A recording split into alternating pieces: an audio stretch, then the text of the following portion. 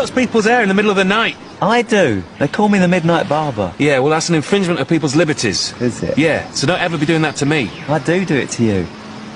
What?